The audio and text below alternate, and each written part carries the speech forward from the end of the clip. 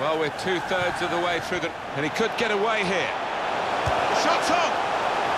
He's got it up and over the goalkeeper, and he scored!